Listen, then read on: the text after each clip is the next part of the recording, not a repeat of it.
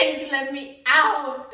Please, please, Mrs. Waterford, just, just let me out. That's my daughter. That's my daughter, Mrs. Waterford. Please, please let me out. I, I, I'm begging you, Mrs. Waterford. I'm begging you. Please let me out. You can drive now. Offred, you need to listen to me. Please, Miss Waterford, please take me back to her. I have to see her. I have to see her. Well, that's not going to be good for anybody.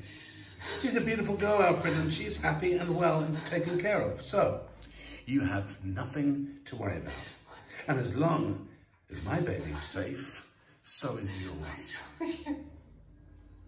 What is wrong with you? How can you do this? You are, you, you're deranged. You're fucking evil. You know that? You, you, you goddamn motherfucking monster.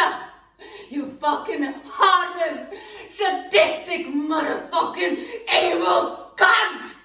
Fuck you, Serena. You're gonna burn in goddamn fucking hell. You crazy evil bitch. Don't wanna do this anymore.